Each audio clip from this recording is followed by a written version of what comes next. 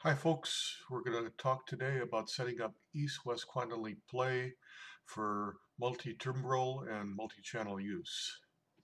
Now, if you're going to do multi-timbral a lot, there's something that you should have a look at here in settings, in play, under other. See, MIDI channel assignment. You can automatically increment it or set it to Omni all the time. So if it's set to Omni all the time, then you have to increment it manually. Since I usually use multi-timbrals, I got that checked. So let's load some instruments. I've got flutes up already, so we'll do flutes. Expressivo.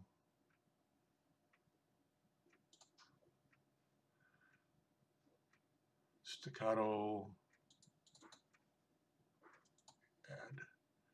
And some sort of effect. We'll do a trill.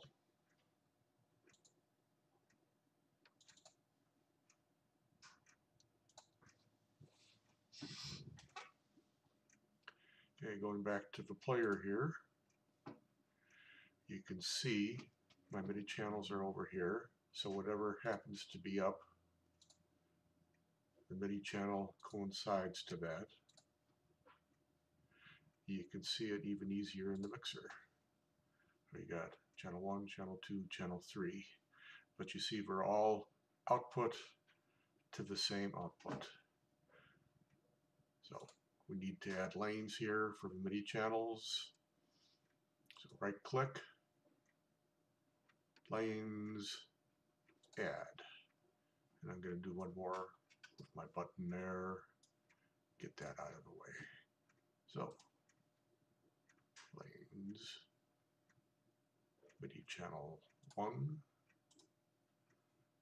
lanes, MIDI channel 2, and lanes,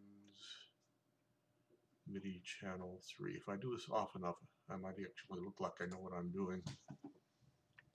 So you get your instruments set up there. Get my headphones on. Got our legato.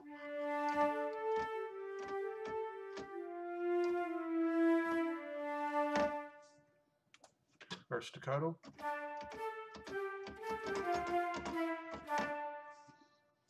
And trill.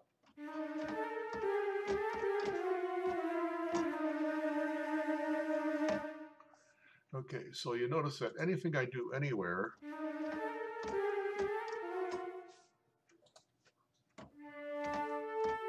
goes to the same output. So we have to change this if we want to affect these channels individually, especially for the volume. We have to set this up as a multi-timbral. So we can do it two ways on the, the uh, play interface. The easiest way is down here. So I can change channel 2 to output 3 and 4 and channel 3 to output 5 and 6. There's another way in the player over here. So one down here you can change the output. See it's already changed. 5, 6. That was a buggy for a while, but now they've got it working right. Okay, so we also have to configure Mixcraft to do the same thing. So configure. You get one, two going already. Three, four, five, six. Okay. We have our child tracks. This one is attached to channel 1. This one is attached to channel 2. This one is attached to channel 3. So if we play, you can see each one.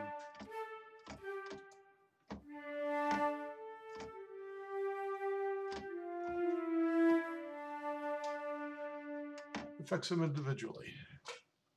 I'm going to be doing another video on how to actually apply all this, but for right now, that's how we set up.